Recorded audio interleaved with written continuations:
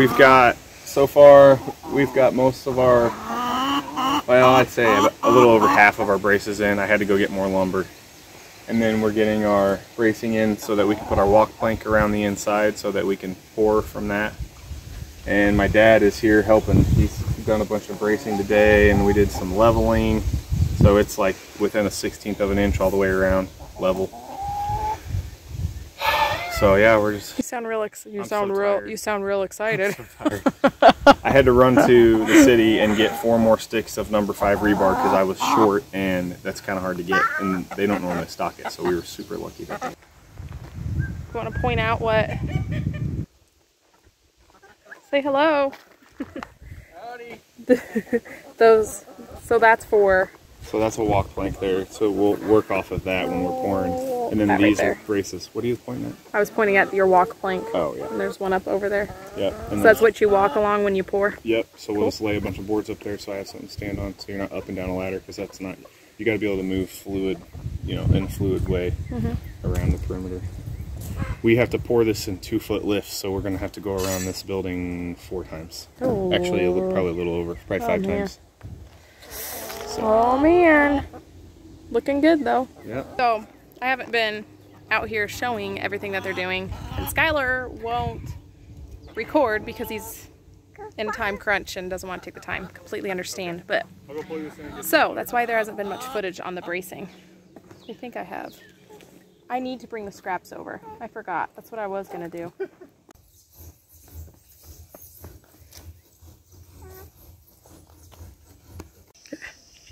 All right, so we'll update on what's going on. Uh, we have basically all of our vertical rebar in, except for a couple small spots.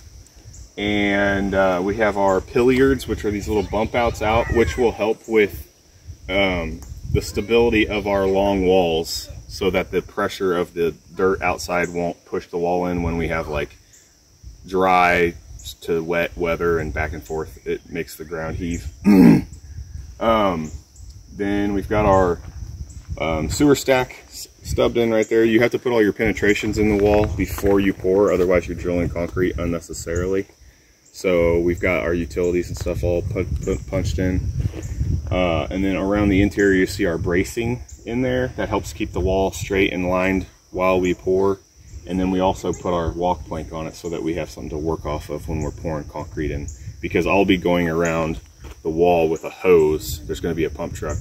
Can you see what I'm showing you? Um, running a hose full of concrete down into the wall, pumping concrete down in there.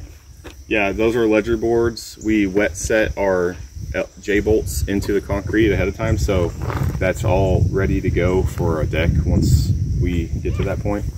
And we have those three spots on the outside, and then we have um, ledger boards on the interior wall, the full length of both of the long walls for our floor joists to go to. So this isn't a conventional basement where normally your floor framing would sit on top of this wall and you would go up with wood. Since we're going up with concrete, your floor framing sits on the inside. So we have these ledger boards that the floor joists will run into and then there will be joist hangers on 16 inch centers all through there. so we have our beam pocket formed out in the middle of the short wall on each end for our steel I-beam to sit in. So after this concrete's poured and it's cured for a couple weeks, we'll have them deliver the beam and they'll just come in here with a crane and set it down in the hole. So that'll be pretty cool. It's gonna be cool. But yeah, that's pretty much the gist of it. We just have to finish up all these little details before Thursday. So Awesome. Yay. yeah, We're getting there. getting there. It's getting there. Still stressing me out, but I think we'll make it.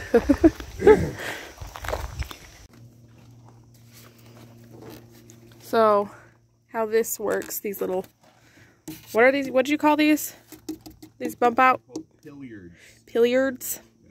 So these pilliards, he cut a hole in the wall of the ICF so that the cement will flow out of there into here and then we'll be putting footing under here, under them just like we did the walls.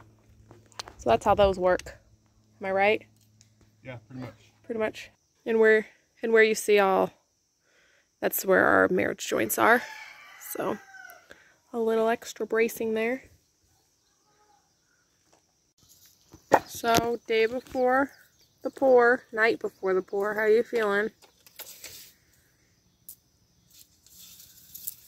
About like that. About like that much left. What we all got left. This basement has done us in. We're not actually gonna build a house. We're just gonna build a basement. then we, then we quit. no, no, no. Yes.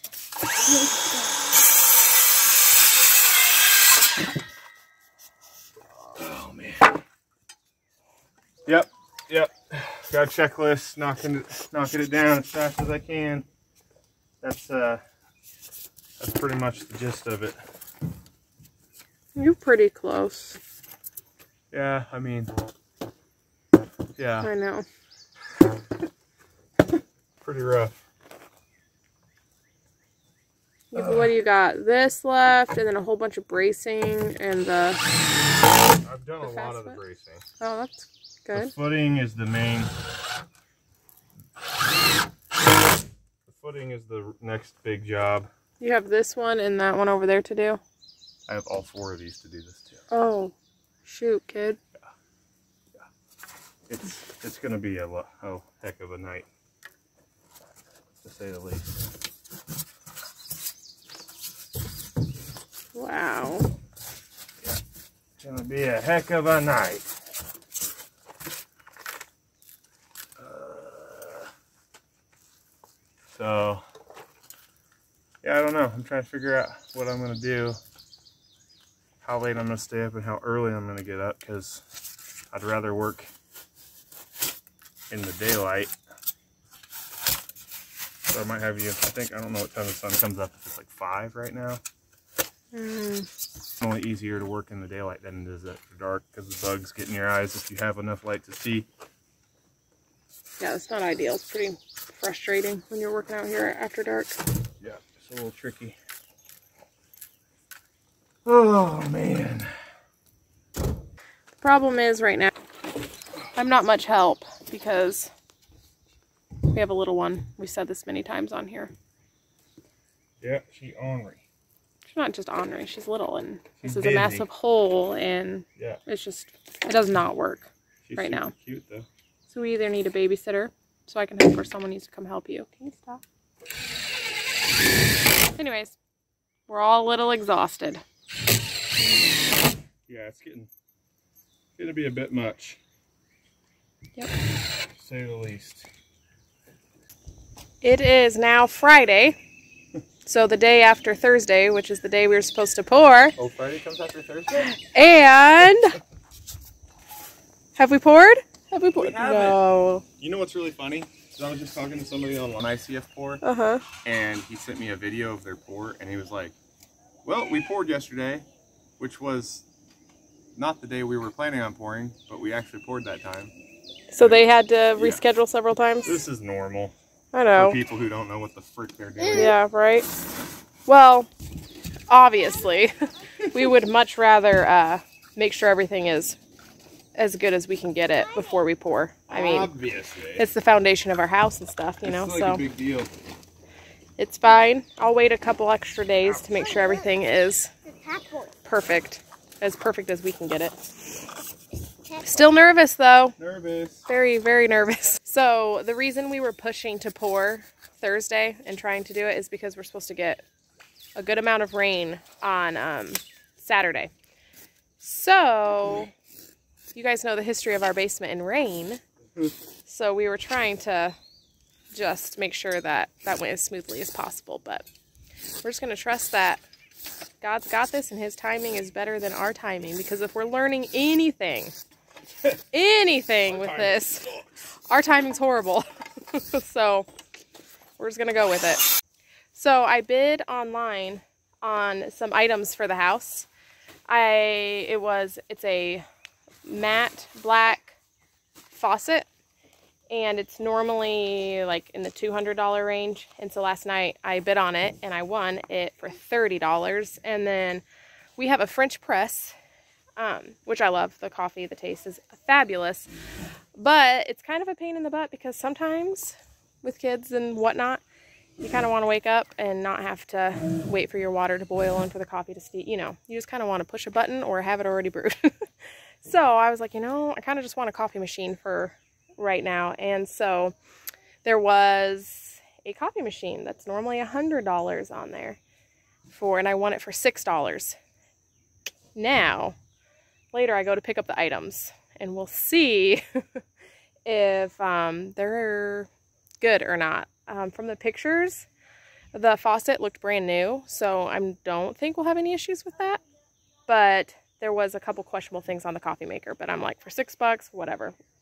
We'll take the gamble. So I'll take you along and show you and let you know if it turns out to be a win or not. I'm pretty excited to see how um, it turns out because I was looking at other areas, like other auctions in our areas, in our areas, other auctions in our area. And um, they had some really awesome stuff. Like I should not have to pay full price for any of the sinks in our house. they had a, um, it was a stainless steel kitchen, or a stainless steel sink your water. Laura, can you get her water? They had a stainless steel uh, sink. It was a smaller one, so it'd be perfect for the mudroom. And um, it, I looked it up to see how much it normally goes for, and it's like a $400 sink. Like what? A little stainless steel, I don't remember the measurements, but it was not big, um, sink. So I don't know if I'll bid on that or not, but anyways, I should not pay full price for a sink. But I'm going to keep my eyes peeled. Who knows what I'll find on there.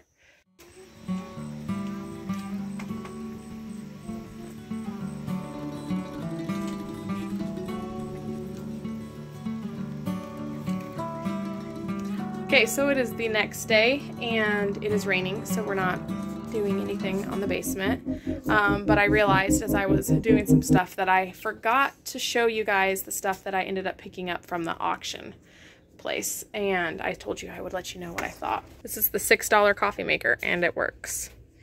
So I like it a lot more than my French, French press just because it's keeping my coffee hot. Um, I actually was cleaning it last night before I used it.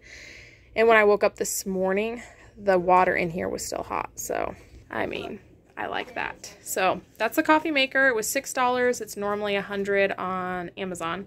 So I it was a win. Here's the kitchen faucet. So it's brand new. Like I don't, I mean, it's new. Still has all of the instructions and everything in it. There's the weight. Um, here's the head. So anyways, I got this. It's a $200 faucet normally and I got it for 30 and it's so I think I will definitely be using that again because that was really fun. It was really easy to pick the stuff up and um, I don't know, could be very addicting. So I'm keeping an eye on a couple other things. I have it on my watch list and I'll let you guys, I'll keep you guys updated.